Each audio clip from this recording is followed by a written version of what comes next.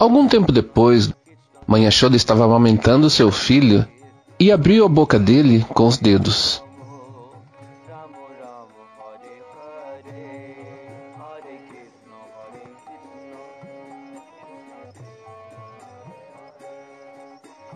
Dentro da boquinha de Krishna, ela viu algo realmente maravilhoso. Ela podia ver o céu inteiro, as estrelas, em todas as direções, o sol, a lua, o fogo, o ar, os mares, as ilhas, as montanhas, rios, florestas. Seu coração começou a bater rapidamente e ela pensou: que incrível é isso! Ela não conseguia falar, mas simplesmente fechou os olhos, tendo pensamentos maravilhosos. Mas de repente, seu amor por Krishna foi tão grande que ela só via seu bebê ali na frente.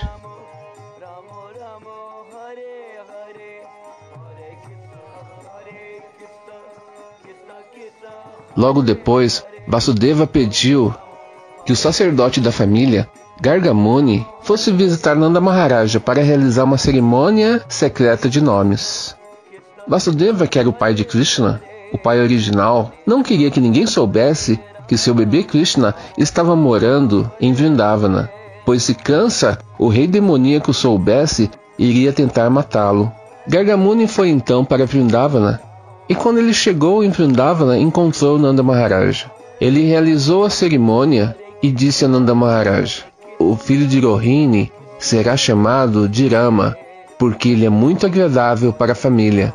Ele também será chamado de Balarama, pois ele será muito forte.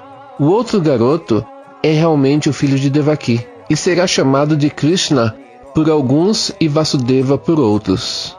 Enquanto Krishna estiver em Vrindavana, todos estarão felizes e seguros. Essa criança crescerá em poder, beleza e opulência, em tudo, assim como o Senhor Supremo. Portanto, cuide para que essa criança cresça sem perturbações.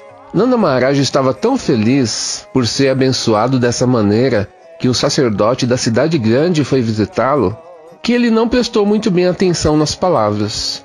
Ele não percebeu que Gargamuni havia dito: Krishna é o filho de Vasudeva. Ou ele considerou que, como Vasudeva era de uma cidade grande, Vasudeva seria algo como um padrinho.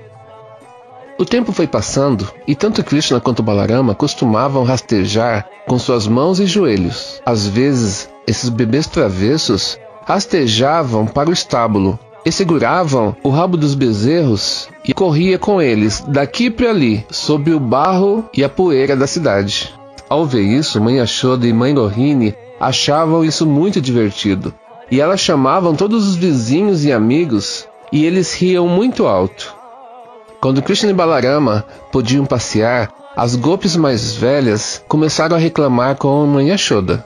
Elas diziam o seguinte: Toda manhã, seu impertinente Krishna vem a nossas casas junto com Balarama, antes que ordenhamos as vacas. Ele solta os bezerros para beber todo o leite diretamente do úbere das vacas. E o incrível é que ele e os bezerros tomam tudo e não sobra nada de leite para nós.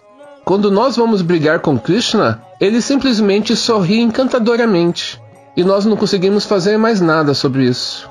Nós já pegamos eles roubando iogurte, roubando manteiga, e depois que eles fazem isso, eles quebram os potes e entregam todo o resto para os macacos. E quando os macacos estão cheios, eles jogam tudo no chão. Para poder evitar que isso aconteça, nós penduramos todos os potes no teto. Eles arranjam um jeito de alcançá-los e eles empilham caixas de madeira e sobem um no ombro dos outros e conseguem pegar nossos potes. Quando estamos carregando os potes na cabeça, eles pegam pedras e fazem furos nos potes. O incrível é que mesmo de madrugada eles conseguem ver onde estão os potes e vão lá e roubam todo o nosso iogurte e manteiga, sem contar os docinhos que nós fazemos. Mãe Ashoda ficava muito brava ao receber essas reclamações. E quando ela se aproximava de Krishna para poder repreendê-lo, ele dava um belo sorriso e ela se esquecia totalmente o que ele tinha feito.